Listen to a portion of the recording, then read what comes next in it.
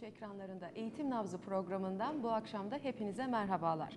Bu haftaki konumuz okul öncesi eğitim, okul öncesi eğitimin önemi ve dikkat edilmesi gereken hususları TED Koleji Anaokulu Müdüresi Sayın Gülgün Hocamız ve okul öncesi eğitim öğretmenimiz Sayın Funda Hoca ile birlikte konuşacağız.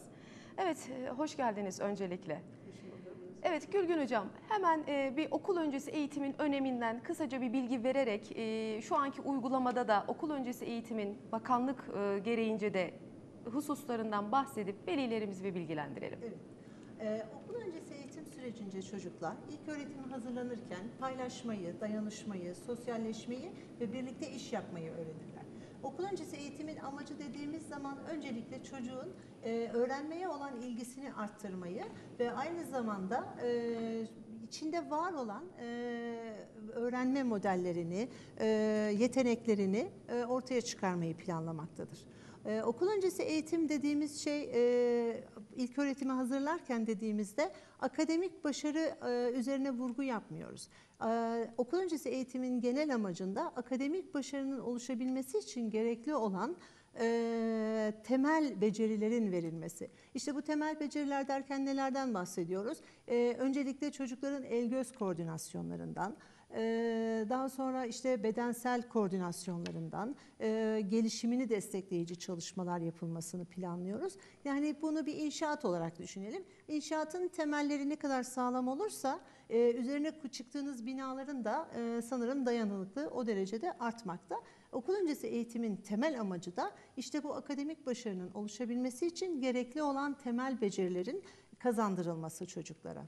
Ee, bir de şunu düşünürsek 7 yaşına kadar her çocuğun zekasının %70'i tamamlanmaktadır. O yüzden 7 yaş öncesinde bu eğitimin mutlaka alınması gerektiği araştırmacılar ve uzmanlar tarafından Tekrar gerekiyor. Evet tekrar etmem gerekiyor. Sonra algılayabiliyor. O yüzden kesinlikle ve kesinlikle teknoloji az, öz ve zamanında kullanılmalı. Ee, bir de e, hocamın söylediklerine bir şey eklemek istiyorum. Kaliteli zamandan bahsetti hocam. Kaliteli zamandan kastımız önüne kitap verip ya da bir etkinlik verip değil. Onunla beraber vakit geçirmek, onunla beraber sinemaya gitmek, bisiklet sürmek, yürüyüş yapmak, daha çok açık alanları kullanarak etkinlik yapmak. Yani annenin veya babanın bir AVM'ye gitmesi çocukla beraber Bir e, etkinlik değil. Bir etkinlik Kaliteli değil. bir zaman geçirmek de evet, değil. maalesef. Yani 10 dakika bile yeterli aslında bazen kaliteli zaman dilimi için. Evet. Ama birebir göz teması kurarak Değil mi? yapılan etkinlik Evet. önemli. İşte anne yemek yaparken evet çocuğum söyle ben seni dinliyorum demek çocukla vakit geçirmek değil.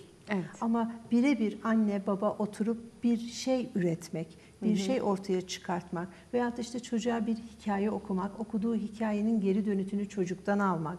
Ee, Bunlar e, kaliteli zaman geçirmek dediğimiz etkinlikler.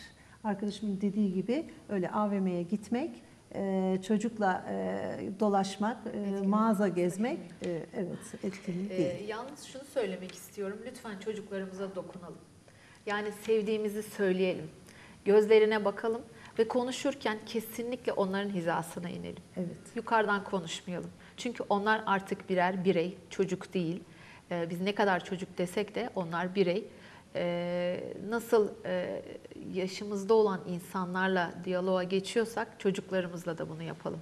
Evet e, hocam çok teşekkür ediyorum Gülgün hocam ve Funda hocam.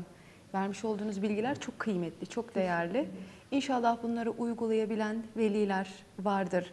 İnşallah böyle bilinçli bir aile ve e, nesil gelir. E, katkılarınızdan dolayı çok teşekkür ediyoruz.